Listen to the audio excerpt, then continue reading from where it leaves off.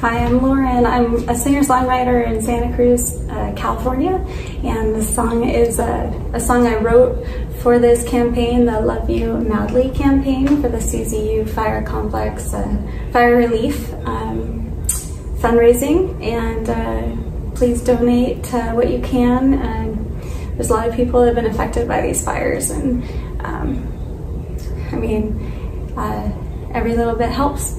Thank you so much.